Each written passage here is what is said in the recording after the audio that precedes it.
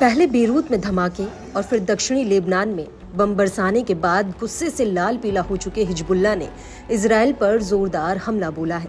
पहले तो उसने तेल अवीव में मोसाद के हेडक्वार्टर पर बैलिस्टिक मिसाइल से हमला किया और उसके बाद फादी थ्री रॉकेटों की ताबड़तोड़ बौछार कर दक्षिणी हाइफा में सनसनी मचा दी।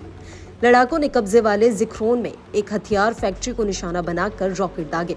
दूसरी बार हिजबुल्ला ने फादी वन रॉकेट हमलों से किरियात, मोदस्किन की बस्ती पर हमला किया। साथ ही लड़ाकों ने लेबनान के शहरों के पास उड़ान भर रहे। दो इजरायली फाइटर जेट्स को खदेड़ने का भी दावा किया।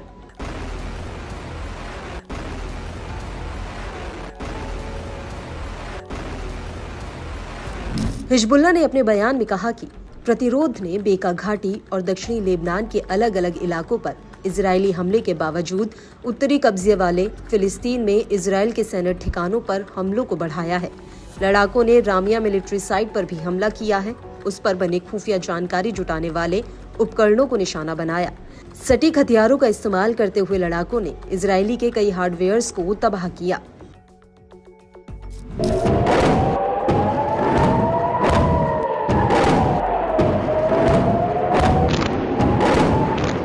इजरायली मीडिया के मुताबिक पिछले 24 घंटों में माउंट हरमोन से लेकर अरावा घाटी तक इसराइल में ऐसा कोई भी इलाका नहीं बचा जो वॉर जोन से बाहर हो।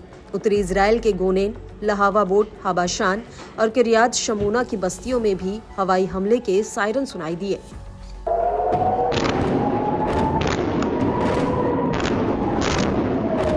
लेबनान के इस्लामिक प्रतिरोध ने फ्रंटलाइन साइट पर सीधा हमला बोलते हुए बिरानित बैरकों पर बड़े कैलिबर के तोपखाने के गोले दागे। इससे उत्तर में कैटजरीन से लेकर रोशपिना, सफद और माउंट मेरून तक फैले इलाकों में लोगों को बॉम्ब शेल्टर्स में रहने की सलाह दी गई।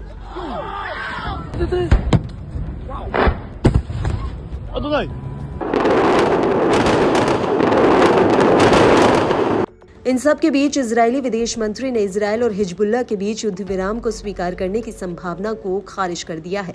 उन्होंने कहा कि उत्तर में कोई युद्ध विराम नहीं होगा।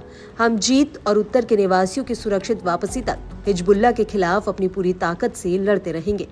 इसराइली पीएमओ ने भी सीज फायर प्रस्ताव को खारिज करते हुए कहा कि युद्ध विराम के बारे में खबर सच नहीं है। यह एक अमेरिकी फ्रांसीसी प्रस्ताव है, जिस पर प्रधानमंत्री ने कोई प्रतिक्रिया नहीं दी है। नेतन्याहू के कार्यालय ने कहा कि प्रधानमंत्री ने आईडीएफ को पूरी ताकत से लड़ाई जारी रखने का निर्देश दिया है।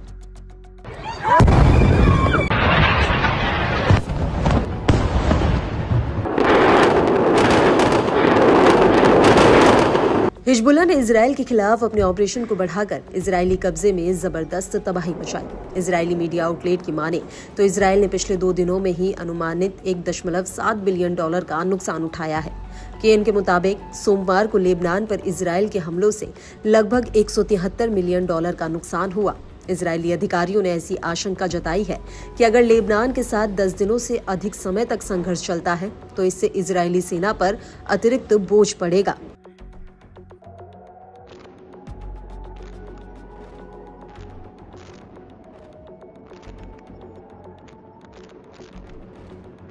वहीं इजरायली मीडिया ने शिनबेट सुरक्षा सेवा के एक पूर्व अधिकारी के हवाले से बड़ा अंदेशा जताया।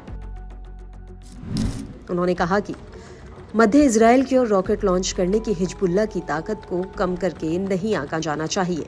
आज हिजबुल्ला नेता हसन नसरल्लाह ने जो किया, वह उसके भविष्य की एक छोटी सी झलक मात्र है। उधर मिसाइल इंटरसेप्टर का बढ़ता इस्तेमाल डेली ऑपरेशनल कॉस्ट को लगातार बढ़ा रहा है।